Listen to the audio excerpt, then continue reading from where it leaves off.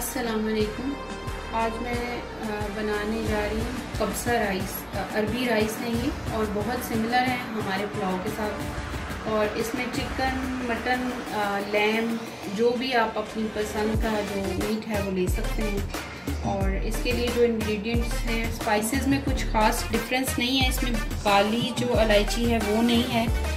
हरी इलायची हैं, चार पाँच दालचीनी के टुकड़े हैं बे लीफ हैं दो। और काली मिर्चें हैं और इसके अलावा ये एक ड्राइड लेमन है। अगर आपको नहीं मिले तो आप घर पे आसानी से सुखा सकते हैं। कुछ दिन में ये सूख जाता है अगर धूप पे रखे तो।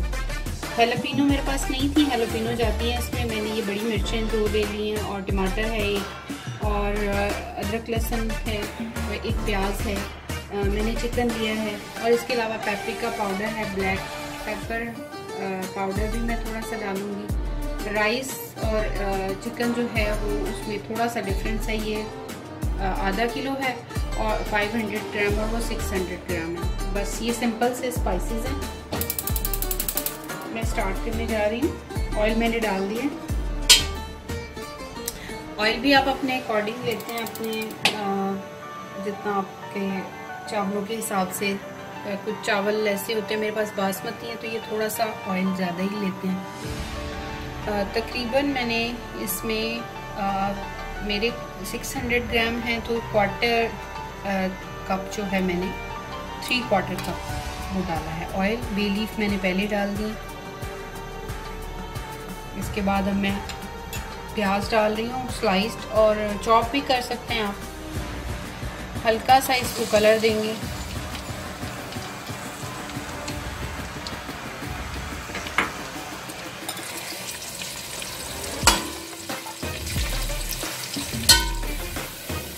होल स्पाइसेस जो हैं ये मैंने डाल। दी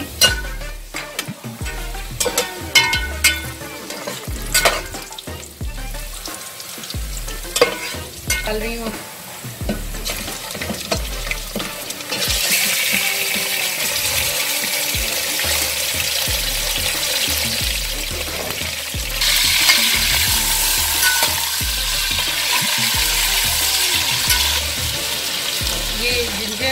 और गार्लिक पेस्ट में डाल दूँगी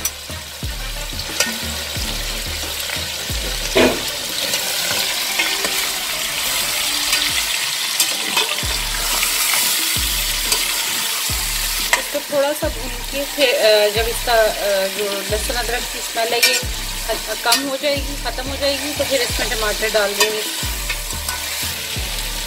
ये टमाटर जो हैं ये चाहे तो आप क्यूब में काट लें स्लाइस में काट लें, जैसे भी काटना चाहिए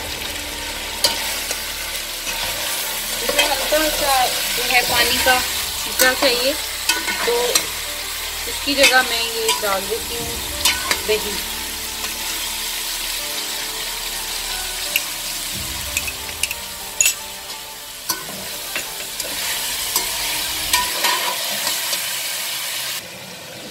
ये तकरीबन दो टेबल स्पून है। ये मैं डाल रही हूँ। ये एडिशनल है। अगर आप डालना चाहें तो डालें। और इसके अलावा सॉल्ट ये भी अपने जायके के मुताबिक आप डालेंगे। पैप्रिका पाउडर जो है वो सिर्फ़ कलर के लिए आपको पता है इसमें आ, ये स्पाइसी नहीं होता। तो एक टीस्पून मैंने डाल दिया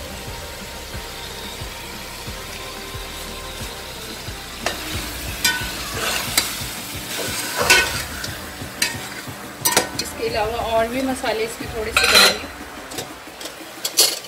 ये धनिया पाउडर है एक टीस्पून हल्दी पाउडर है हाफ़ टी स्पून और ज़ीरा पाउडर है ज़ीरा भुना और कुटा हुआ ये है एक टीस्पून और हाफ़ टी स्पून मैं इसमें ये ग्राउंड जो आ, मसाला है गरम मसाला वो डाल हूँ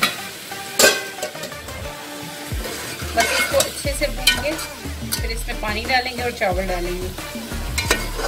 ये दो हरी मिर्ची भी मैंने डाल दी है अच्छे से भून के। इसका कच्चापन जो है स्मेल चिकन की या मीट कोई भी हो, उसका स्मेल होती है जो, वो भूनने से चली जाती है। इसको अच्छे से भूनेंगे ये हाफ़ टी स्पून जो है ब्लैक पेपर पाउडर है, ये मैं डाल रही हूँ।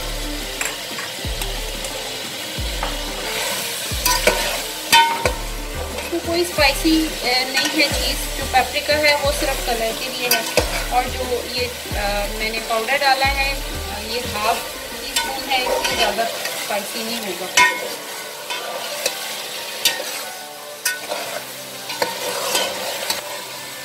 अरबिक डिशेज जो हैं वो जैसे ज़्यादा स्पाइसी नहीं होती।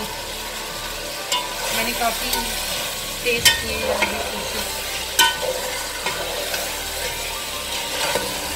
बस ये गोश्त जो है वो अच्छे से भून गया मसाला बिल्कुल अलग भून गया। इसमें मैं पानी डालती हूँ, और जैसे ये बॉयल होगा, और चिकन तो तब तक पक चुका होगा बाकी जो है वो चावलों के साथ पक जाएगा।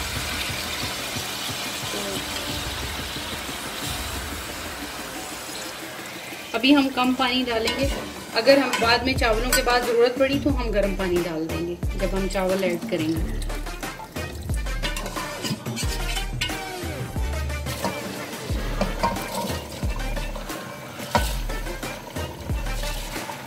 शुरू में चावल पानी आप कम ही डालें और चावल डालने के बाद फिर आप इसका नाप पूरा कर लें।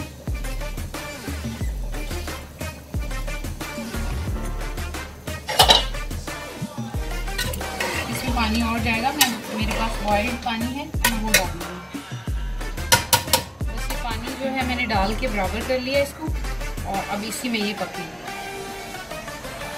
ये इतना पानी है कि चावल नज़र आ रहे हैं।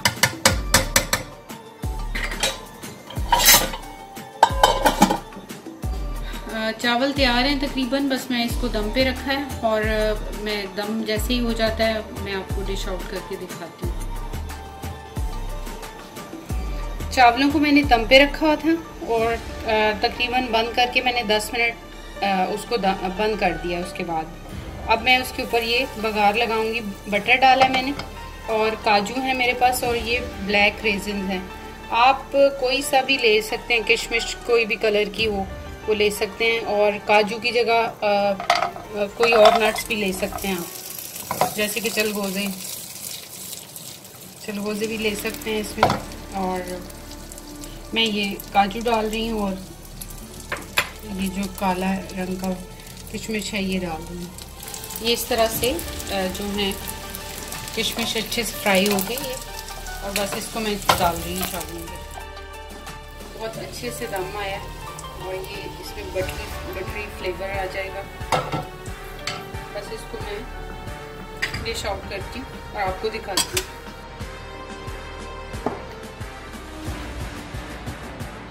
कब्सा राइस हमारे तैयार हैं और अच्छे से मैंने इनको गार्निश किया है।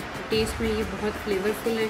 आप ज़रूर बनाएँ, ज़रूर ट्राई करें रमज़ान है और रमज़ान में नई नई डिशेस जो हैं वो दिल चाहता है कि नई नई डिशेस बनाएँ। तो ये एक बहुत अच्छी